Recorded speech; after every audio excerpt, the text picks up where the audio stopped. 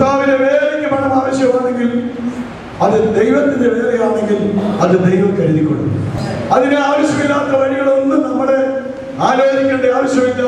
നിങ്ങൾ പ്രാർത്ഥനയ്ക്ക് ഇരുന്നാൽ മതി. ദൈവം നിങ്ങൾക്ക് വേണ്ടി പ്രവർത്തിക്കും. നമ്മുടെ വിശ്വാസത്തിന് വേണ്ടി ഞാൻ ചില അനുഭവങ്ങൾ പറയാം. ഒരിക്കൽ ഞാൻ ശുശ്രൂഷിച്ച ഒരു സഭയിൽ ഒരു അമ്മാമ എന്നോട് ഒന്ന് പറഞ്ഞു ഓക്കൊരു കല്യാണം ആലോചിക്കണം അപ്പൊ അമ്പതിനായിരം രൂപയേ ഉള്ളൂ. അങ്ങനെ ഉള്ളതല്ലോ ആശ്രയിക്കാൻ അറിയാമല്ലോ ആലോചിച്ചാണ് സ്വന്തം അപ്പോൾ ഇങ്ങനെ ദേവാസമാരൊക്കെ കല്യാണം നടത്തി നടക്കുന്നു പറഞ്ഞ് പറഞ്ഞു പറഞ്ഞു പറഞ്ഞ് കൊച്ചിനെ ഇരുപത്തിയേഴ് വയസ്സായി. സ്വന്തം ഞാനൊരു ദിവസം അവരോട് പറഞ്ഞു ഇത് നീ പ്രാർത്ഥിക്കണം. ഈ മാർച്ച് മുപ്പത്തൊന്ന് വരെ നിന്റെ കല്യാണത്തിന് വേണ്ടി പ്രാർത്ഥിക്കുന്നത് അതിനകം കല്യാണം നടക്കണം നീ തീരുമാനിക്കണം. എങ്ങനെയുള്ളൊരു ഭർത്താവിനെയാണ് നിനക്ക് വേണ്ടത്. ആ കാര്യം ദൈവസ്ഥിതിച്ച് പ്രാർത്ഥിക്കണം. അങ്ങനെ കല്യാണത്തിൽ വരെ വന്നു. ഞാൻ അക്കാര്യത്തിൽ കാര്യത്തിൽ ഇടപെട്ടു? ഞാൻ ആ കല്യാണത്തിന്റെ ആരംഭത്തിൽ ഒരു തുക എന്റെ മനസ്സിൽ വന്ന ആ പയ്യനോട് പറഞ്ഞു ഒരു രണ്ട് ലക്ഷം രൂപ ഒരു ലക്ഷം രൂപ കല്യാണം ഉറക്കുമ്പോഴും ഒരു ലക്ഷം രൂപ കല്യാണത്തിനാവും കൊടുക്കുന്നത് ഈ അമ്മാമയ്ക്ക് അറിയത്തില്ലത്.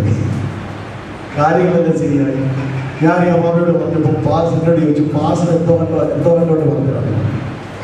അപ്പൊ ഞാൻ അമ്മാമയോട് പറഞ്ഞു അമ്മ അടുത്ത ആഴ്ച സമാജത്തിലൊന്ന് വാങ്ങി പാട്ടുപാടി സാക്ഷിയൊന്നും പറയരുത് എന്നെ വിളിച്ചവൻ ഞാൻ പറഞ്ഞത് ആർഭാടമൊന്നുമല്ല നമ്മുടെ കൊച്ചിനെ കല്യാണം കഴിഞ്ഞ് ന്യായമായിട്ടുള്ള ഒരു ആവശ്യം. അത് ദൈവം നടത്തുമെന്നുള്ള വിശ്വാസത്തോടെ ഞാൻ പറഞ്ഞു. വിശ്വാസത്തോടെ ദിവസം പറഞ്ഞു അത് നമ്മൾ അമ്പതിനായിരം പിടിച്ചോണ്ടിരിക്കുക. അത് മതി. അത് ഇപ്പോഴൊന്നും വേണ്ട. പിടിച്ചോണ്ടിരുന്നു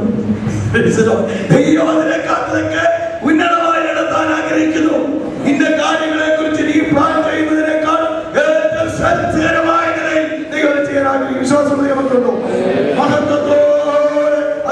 ചെയ്യുവാനാണ് ദൈവം ആഗ്രഹിക്കുന്നത് കല്യാണം നടന്നു ഈ പറഞ്ഞവരെ കൊടുക്കുകയും ചെയ്യും ഞാൻ പറഞ്ഞു നമ്മൾ പലപ്പോഴും പ്രസംഗിക്കാൻ പറയുകയും ചെയ്യും. പക്ഷെ നമ്മുടെ ജീവിതത്തിൽ എന്തോ ഇല്ല. എന്തോ ഇല്ല. ഞായറാഴ്ച ചെന്ന് കർത്താവ് നടത്തും അത്ഭുതമായ പിന്നെ അങ്ങോട്ട് പോകുമ്പോൾ മുതൽ ചിന്തയാ എങ്ങനെ നടക്കാൻ വിശ്വാസം പറയുന്നു പ്രാർത്ഥിക്കണം എന്നവിടെ പറഞ്ഞിരിക്കുന്നു. വിശ്വാസത്തോടെ പ്രാർത്ഥിക്കണം. സംശയിക്കാതെ പ്രാർത്ഥിക്കണം. പ്രാർത്ഥിച്ചാൽ മറുപടിയുടെ വിശ്വാസമുള്ള ദൈവത്തിലുണ്ടോ ബോധമാത്രയ്ക്ക് വന്നോണ്ടൊന്നും കാര്യമായില്ല. പ്രാർത്ഥന നടക്കുന്ന ദൈവാസന്മാർ വരും. പ്രസംഗിക്ക് പോകും. ദൈവത്തിന് വരും അതുകൊണ്ടൊന്നും കാര്യമില്ല. ദൈവവചനങ്ങൾ വചനങ്ങൾ തമ്മിൽ വിശ്വാസമായിട്ട് പരിണമിക്കണം. ദൈവത്തിന്റെ പ്രവർത്തികളെ കാണത്തക്ക നിലകളിൽ നിങ്ങളുടെ വിശ്വാസം വ്യാപരിക്കണം. Hallelujah. കർത്താവിന് വചനം തന്നാൽ ആ വചനം മുഴുവൻ വിശ്വസിച്ച് പ്രാർത്ഥിക്കണം. ഒന്നുമില്ലായ്മയില്ല കർത്താവ് നിങ്ങൾക്ക് പ്രാർത്ഥനയിൽ ഒരു വചനം നൽകി തരും ദേശത്ത് മഴ പെയ്ക്കാൻ പോകാമെന്ന് ഏരിയാവിനോട് ദൈവം പറഞ്ഞു മൂന്നര വർഷമായി മഞ്ഞും മഴയും ദേശത്ത് പെയ്തിട്ട് ദൈവം പറഞ്ഞു മഴ പെയ്ക്കാൻ പോവാ. സ്വന്തം ഞാനായിരുന്നു പറഞ്ഞു "ആ, പിന്നെ എനിക്ക് വിരോധമൊന്നുമില്ല കർത്താവ്. എപ്പോഴാണ് വെച്ച സൗകര്യം പോലെ കഴിച്ചാട്ടെ സ്വന്തം അങ്ങനല്ല ചെയ്തത്. താൻ പോയി ആകാവിനോട് പറഞ്ഞു വലിയ മുഴക്കമുണ്ട് മഴ നിന്നെ തടുക്കാതിരിക്കാൻ രഥം പൊട്ടി വയ്ക്കാം അതിനെ വിശ്വസിക്കുന്നവരുണ്ടോ? ഉണ്ടോ? മഴയുടെ ഒരു ഇല്ലാതിരിക്കുമ്പോൾ ദൈവം പറഞ്ഞു മഴ പെയ്ക്കാൻ പോകുന്നെന്ന് പറഞ്ഞപ്പോൾ അത് കാലിൽ കേട്ടിട്ട് പറയുകയാകാതെ വലിയ മഴയുടെ മുഴക്കമുണ്ട്.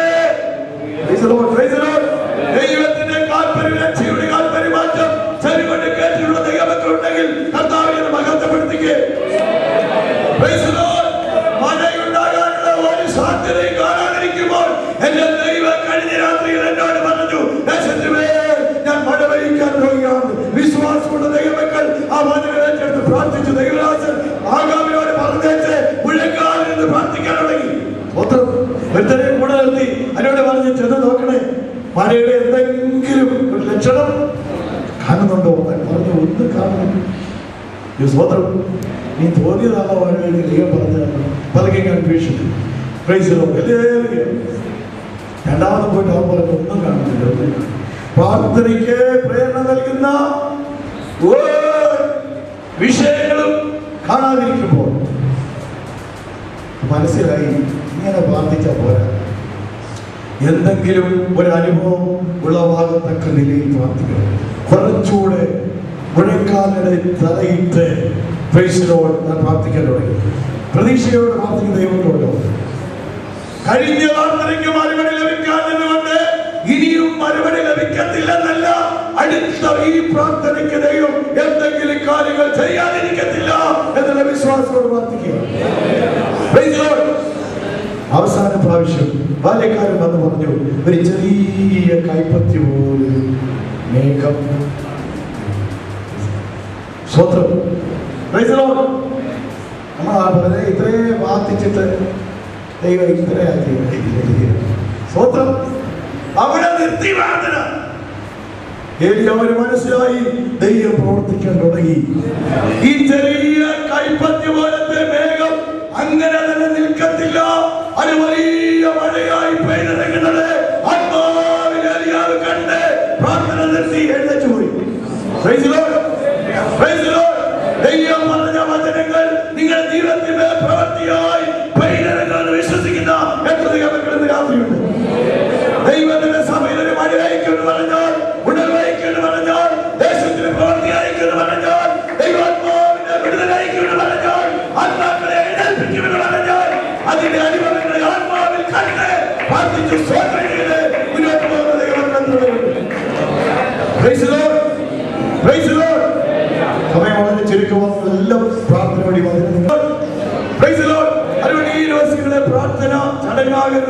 എന്തെങ്കിലും കാര്യങ്ങൾ ദൈവം ചെയ്യുമെന്ന് പറഞ്ഞിട്ടുണ്ടെങ്കിൽ അത് പ്രവൃത്തിയായി വെളിപ്പെടുവാൻ ശക്തിയേറിയ പ്രാർത്ഥന ഇതിനാണ് ദൈവസ്ഥിതി ഉയർത്തണം.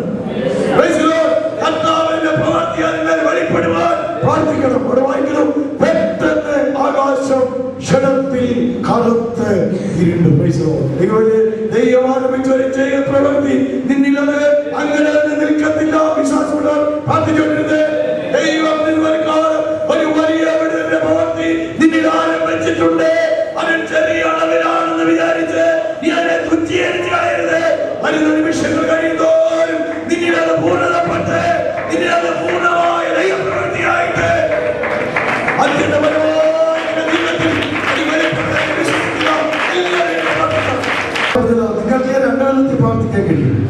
നിങ്ങൾ ശരിയായ നിലയിൽ പ്രാർത്ഥിച്ചാൽ ഈ നിലയിൽ പ്രവർത്തിക്കും. അല്ലാതെ പ്രാണനെ എടുത്തോളെ എന്ന് പ്രാർത്ഥിച്ചിട്ട് അത് ഒരു പ്രാർത്ഥനയാണ്. നൂറ്റിരണ്ടാം സങ്കീർത്തനത്തിന്റെ ടൈറ്റിൽ വായിക്കുന്നുണ്ടല്ലോ അരിഷ്ടന്റെ പ്രാർത്ഥന. അതോടൊപ്പം ക്ഷീണിച്ചിരിക്കുമ്പോൾ അവൻ?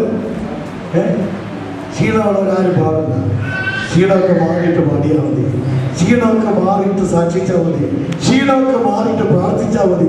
ക്ഷീണിച്ച പ്രാർത്ഥനയ്ക്കൊന്നും മറുപടി വരുത്തില്ല നീതിമാന്മാരുടെ ശ്രദ്ധയോടുകൂടിയ പ്രാർത്ഥന വളരെ ദൈവം.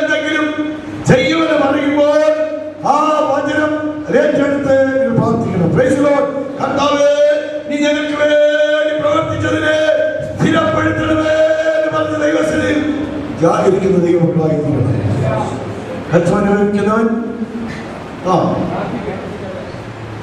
എന്താ സഹോദര എന്ന് പ്രാർത്ഥിക്കാത്തത്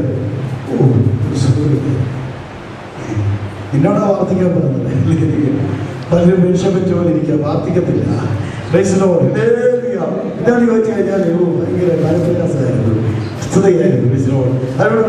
ഇരുന്നോളാം. പിന്നെ നിങ്ങളെല്ലാം കൂടെ പ്രാർത്ഥിച്ച് ഞങ്ങളുടെ കച്ചതയൊക്കെ മാറ്റാൻ.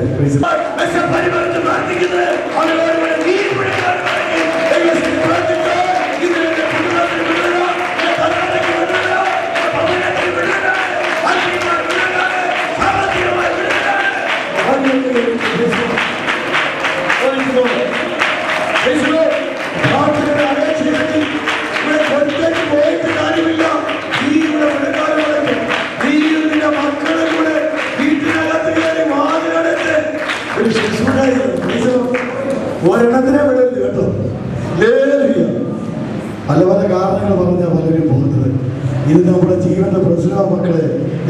ബാധിക്കുന്ന വിഷയമാണ്. നിന്റെ ഭാവിയെ ബാധിക്കുന്ന വിഷയമാണ്. അതുകൊണ്ട് ഞാൻ തന്നെ ഇങ്ങനെ പ്രാർത്ഥിച്ചിട്ടൊന്നും കാര്യമില്ല. ഓനെ വാ നമുക്ക് ഒരുമിച്ച് വിളിക്കാറ് മുടക്കി പ്രാർത്ഥിക്കാം. തീരുമാനം എടുക്കാവോ? എടുക്കാവോ? അയ്യോ സ്തോത്രം. സ്തോത്രം. സ്തോത്രം. നിന്റെ മനസ്സിനത്തിന്റെ പരിഹാരം നിന്റെ ഭവനത്തിനകത്ത് ദൈവം തരും. അവിടെ പ്രാർത്ഥനയുണ്ടോ. നീ ഇതിന്റെ മക്കളെ കൂടെ ഒരുമിച്ച് വിടുകാരെ മുടക്കി ദൈവത്തിന്റെ വിഷയത്തിന് വേണ്ടി ജാഗരിക്കുന്ന ദൈവമക്കളുണ്ടോ സഭയിൽ വന്ന് ആരാധിക്കണം കുടുംബ പ്രവർത്തന ആരാധനയുണ്ടോ അവിടെ ആത്മനിറവുണ്ടോ അവിടെ ദൈവസ്ഥിതി വിഷയങ്ങളെ വെച്ച് ഒരു ബന്ധപ്പെട്ട് കൈ ഉയർത്തി പിടിച്ച് പ്രാർത്ഥിക്കുന്ന ഒരു അനുഭവം ഉണ്ടായിട്ടുണ്ട് പിന്നെ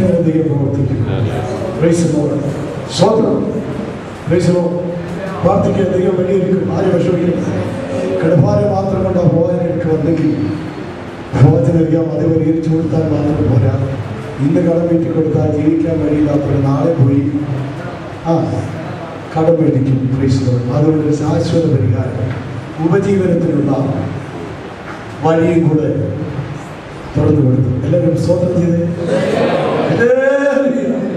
Praise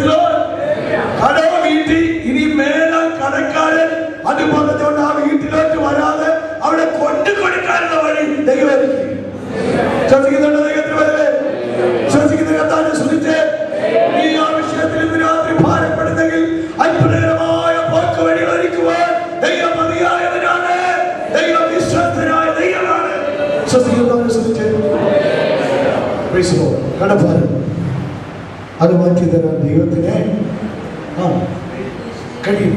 അവരുടെ വിശ്വാസം വരുന്നില്ലെന്ന് തോന്നുന്നു നമ്മുടെ പറഞ്ഞത് മൂന്ന് ലക്ഷം രൂപ അതെങ്ങനെ മാറുന്നത് പത്തോ അമ്പതൊക്കെ ആയിരുന്നെങ്കിൽ ഞങ്ങൾ എന്ത് ചെയ്യണം ആ.